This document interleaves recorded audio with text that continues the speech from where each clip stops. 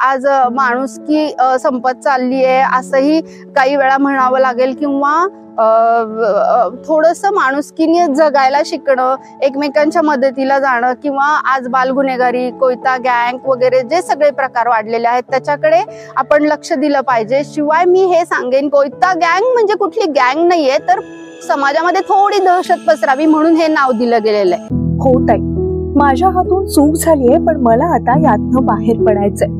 Please. कोयता गँग सारख्या बाल गुन्हेगारीच्या काळोखात अडकलेल्या कोवळ्या जीवांना प्रकाशनाचं काम भाग्यश्री साळुंखे करतात. खेळण्या बागिडण्याच्या वयात गुन्हेगारीच्या पेख्यात अडकलेली. कुटुंबात ऐकून घेणार कोणी नसल्यानं प्रचंड घुसमट होत असेल. अशा तऱ्हे तऱ्हेच्या समस्यांच्या ओझ्यानं वाकून गेलेली पोरं भाग्यश्री ताईंपुढे बोलू लागतात. मन मोकळी होतात आणि या संवादातून हळूहळू प्रश्नही सुटू लागतात. बाल गुन्हेगार शालेय विद्यार्थी यांचं समुपदेशन करण्याचं काम भाग्यश्री साळुंखे करतात. नमस्कार मी भाग्यश्री आनंद साळुंखे. माझ्या माझी एक संस्था आहे आर के बहुद्देशीय. त्या संस्थेचं मी काम करते. दोन हजार तेराला आपण ही संस्था स्थापन केली. आणि आता सध्या आपण बाल गुन्हेगारीवर काम करतोय. ही संस्था स्थापन करण्यापाठीमागचा उद्देश माझा असा होता की एक हात मदतीचा आपण लोकांपर्यंत पोहोचण्याचा. ज्याला गरज आहे त्या लोकांपर्यंत आम्हाला गरजवंतांपर्यंत पोहोचायचं होतं. आणि त्याच्यानंतर हे काम करता करता आम्हाला एक तीव्र अशी जाणीव झाली ती म्हणजे बाल गुन्हेगारीची आज आपल्याकडे बाल गुन्हेगारीचं प्रमाण प्रचंड वाढलेलं आहे. बाल छोट्या छोट्या मुलांमधली वाढलेली गुन्हेगारी हे एक संकट आपल्या समाजापुढचं दिसत होतं. आणि त्यामुळे मी ठरवलं की आपण या मुलांबरोबर आता काम करायचं. एकदा असा संस्था बहुउद्देशी असल्यामुळे आपण सगळ्याच विषयावर काम करतो. म्हणून एका प्रोग्रामसाठी मी एका वस्तीमध्ये गेले. प्रोग्राम घेतला प्रोग्राम झाला आणि निघाले. तोपर्यंत एका ठिकाणी खूप गर्दी दिसली. गर्दी दिसली तर तिथं मी गेले आणि विचारलं की काय झालं? तर तिथल्या लोकांनी सांगितलं एका मुलाचा मृत्यू झालाय. तर मी म्हटलं किती वर्षाचा मुलगा आहे? तर तो ते बोलले की तेरा चौदा वर्षाचा. मग मी त्यांना विचारलं कशामुळे झाला? तर मी विचारलं तेव्हा त्या लोकांनी मला सांगितलं ताई या मुलाचे वडील खूप दारू पितात त्यांना समजतच नाही आई नाहीये आणि त्याला दोन भाऊ आहेत. आणि ताई इतकी परिस्थिती नाजूक आहे की तो अक्षरशः एका शाळेमध्ये फक्त जेवण मिळतं म्हणून जातो आणि तिथे जेवतो आणि ते जेवण घेऊन तो घरी येतो आणि भावांना देतो. एकदा त्याची तब्येत बिघडली आणि तो आजारी पडला. आजारी पडल्यामुळे त्याला जेवणही मिळेना. लोक लक्ष कोण देणार त्याच्याकडे? कोणीच लक्ष द्यायला नव्हतं. पोटाची भूक आणि औषधही मिळत नव्हतं. आणि अशा ह्याच्यात त्याचा मृत्यू झाला. हे समजल्यावर मला फार असं वाईट वाटलं की किती बेकार परिस्थिती आज. की बाबा एखाद्याला पोटाला अन्न मिळत नाही किंवा मेडिसिन मिळत नाही म्हणून माणूस जर जातोय तर मला खूप वाईट वाटलं. मी तिथे चर्चा केली तर ते ते लोकांनी मला सांगितलं की ताई अक्षरशः इथे ही ही एकच केस तुम्हाला दिसते पण इथे अशी परिस्थिती आहे की इथली मुलं त्यांना काही गोष्टी मिळत नाहीत. अक्षरशः बेरोजगारी वाढलेली आहे पोटाची भूक राहत नाही. त्यामुळं ही मुलं वाईट मार्गाला लागतात व्यसनाधीन होतात आणि त्यातून गुन्हेगारीकडे जातात. हे सगळं मला समजलं आणि त्यावेळी मी बाल वर काम करण्याची सुरुवात केली. आतापर्यंत मी म्हणजे मला आठवत असं पाचशेच्या पेक्षा जास्त मुलांचं मी समुपदेशन केलेलं आहे.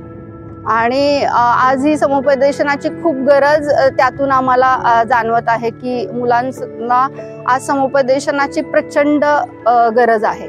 बाल गुन्हेगारीचं प्रमाण वाढतंय म्हणून ही कोयता गँग वाढतीये. कोयता गँग म्हणजे कुठली गँग नाहीये तर समाजामध्ये थोडी दहशत पसरावी म्हणून हे नाव दिलं गेलेलं आहे. आणि ही ही गुन्हेगारी कोयता गँग कुठली आहे? तर अल्पवयीन मुलांची आहे. या मुलांमध्येच हे गुन्हेगारीचं प्रमाण का वाढतंय? तर या मुलांना काही कळत नसतं. ज्या वयात त्यांना खेळायचं वय असतं बागडायचं वय असतं त्या वयात त्यांच्याकडनं काम केलं करून घेतलं जातं. आणि मग अशा वेळी काय होतं की कधी कधी आपल्याला चांगला आधार मिळाला नाही चांगल्या गोष्टी कळल्या नाहीत तर ही मुलं चुकीच्या मार्गाकडे जातात. आणि मग आपण स्लमचा विचार करता बरीचशी मुलं ही स्लम मधली आहेत कोयता गँगमध्ये. बरीचशी मुलं ही बेरोजगारी त्यांना खायला अन्न नाहीये पैसा नाहीये म्हणून त्याकडे गेलेली आहेत. आणि त्यामुळे हे गँगचं प्रमाण वाढतंय. या अल्पवयीन मुलांना विविध प्रकारची व्यसन ही लोक लावतात आणि त्यातून त्यांच्याकडनं ही कामं करून घेतात. आज ही एक मोठी समस्या बनून बसलेली आहे. आज या समस्येवर जसं आम्ही काम करतोय तसंच आमच्याबरोबर पोलीस पण आम्हाला सपोर्ट करतात आणि त्यांचाही चांगला सपोर्ट आम्हाला मिळतोय.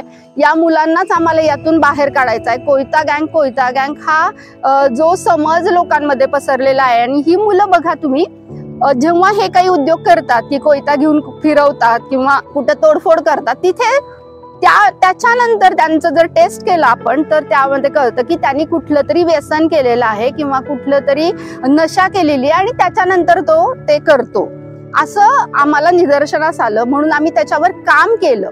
पण ते काम करतानाही काही मुलं आमच्याकडे आली आणि त्यांनी आम्हाला सांगितलं की ताई चुकून आम्ही ही कामं करतोय.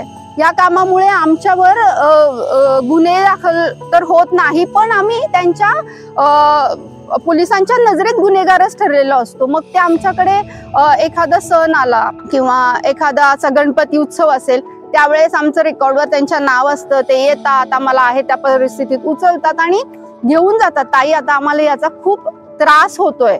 तर आम्हाला यातून बाहेर पडायचंय. ही सुद्धा मानसिकता आज दिसतीये. पण दाखवताना फक्त कोयता गँग वाढवलेली दाखवली जाती. पण त्या मुलांनाही यातून बाहेर पडायचं आहे. मी विविध शाळांमध्ये जाऊन समुपदेशन करते. त्यामध्ये मला बरेच प्रसंग किंवा काही गोष्टी जाणवल्या. त्यातली मी एक गोष्ट मला खूप सांगणं गरजेचं वाटतंय. ती गोष्ट मी तुम्हाला सांगते. मी असंच एका स्कूलमध्ये गेलते आणि प्रिन्सिपल बरोबर माझी मीटिंग होती. मी मीटिंग केली आणि शाळा सुटली आणि पाच दहा मिनिटांनी आम्ही लोक बाहेर आलो. तोपर्यंत काही मुलं जात होती. जात असताना एक मुलगी तिथं खूप रडत आली. आणि प्रिन्सिपल सर मी आम्ही सगळे बाहेर आलो आणि तिला विचारलं काय झालं? ती तिच्या भावाबरोबर आलती आणि दुसरी मुलगी तिच्या वडिलांबरोबर आलती. तर तिला विचारलं काय झालं म्हणून? तर ती मुलगी सांगत होती की ताई माझी आई निघून गेलेली आहे. मला दुसरं कोणीच नाहीये. माझी आजी आमचा सांभाळ करते. आणि या स्कूल मधल्या मुली माझ्या आईवरून मला खूप चिडवतात. आता माझी आई निघून गेली त्यात माझा काय दोष आहे? तर मी म्हणलं बरोबर आहे अगदी ना. त्या दुसऱ्या मुलीला विचारलं ती ऐकायलाच तयार नाही ती म्हणायची मी चिडवत नाही. मी या मुलीला समजावलं की नाही तू दुसरीकडे बस. म्हटली मी काही केलं तरी या मुली मला त्रास देतात. हे बघा कसं असतं मुलांना या वयात एका आधाराची गरज असते. आणि एका आधाराची गरज असल्यामुळे ती मुलं जर तो त्या मुलांना तो आधार मिळाला नाही तर ती मुलं भरकटत भरकटत जातात आणि चुकीच्या मार्गाला जातात. मग त्यांना एखादा चांगला समुपदेशक किंवा गाईड मिळाला तर ती एक चांगल्या मार्गावर जातील. आता या मुलीची आई नाहीये तर हिला बाकीचे लोक त्रास देत आहेत त्यामुळे ही मुलगी हळूहळू डिप्रेशनमध्ये जाईल किंवा चुकीचे मार्ग निवडेल. त्यामुळे आजकाल सोशल मीडिया एक कारण सांगितलं जातं की सोशल मीडियामुळं पण मुलं बिघडलेली आहेत. आणि त्यामुळे ती मुलं वाया जात आहेत हे पण आम्हाला दिसलं. पण त्याचबरोबर मला हे म्हणायचंय की जर सोशल मीडिया जेवढं कारण आहे तेवढंच आपलं घरचं वातावरणही यासाठी कारणीभूत आहे. आणि त्यासाठी आज मुलांना काउन्सिलिंगची गरज आहे किंवा समुपदेशनाची गरज आहे की करोनाच्या काळामध्ये शाळाच नव्हती. त्यामुळे मुलांना शाळेचं व्हॅल्यू राहिलं नाही किंवा कुठल्या गोष्टीचं व्हॅल्यू राहिलेलं नाहीये. ती मुलं भरकटलेली आहेत. आणि त्यामुळे आज मुलांना प्रवाहात आणण्यासाठी किंवा गुन्हेगारी प्रवृत्तीपासून थांबवण्यासाठी आज समुपदेशनाची खूप गरज आहे. आज करोनाने तर बऱ्याच गोष्टी आपल्याला शिकवलेल्या आहेत आणि आपण शिकलेलो पण आहे. पण आज माणूस माणुसकी संपत चालली आहे असंही काही वेळा म्हणावं लागेल किंवा थोडंसं माणुसकीने जगायला शिकणं एकमेकांच्या मदतीला जाणं किंवा आज बालगुन्हेगारी कोयता गँग वगैरे जे सगळे प्रकार वाढलेले आहेत त्याच्याकडे आपण लक्ष दिलं पाहिजे. शिवाय मी हे सांगेन की फक्त बालगुन्हेगारीमध्ये तुम्ही मुलांना किंवा त्या मुलींना कुणालाही ब्लेम करू नका. तर त्यांच्याबरोबर तुम्ही काम करा. त्यांच्याबरोबर काम करताना त्यांना असं जाणवू द्या की हे आपल्यातलेच आहे तुमच्यावर त्यांचा विश्वास बसू द्या आणि मग तुम्ही त्यांच्याबरोबर काम करा. ती मुलं कधीच चुकणार नाहीत आणि बालगुन्हेगारी वाढणार तर नाहीच पण त्या ती कमी व्हायला मदत होईल हेच मी सांगेन.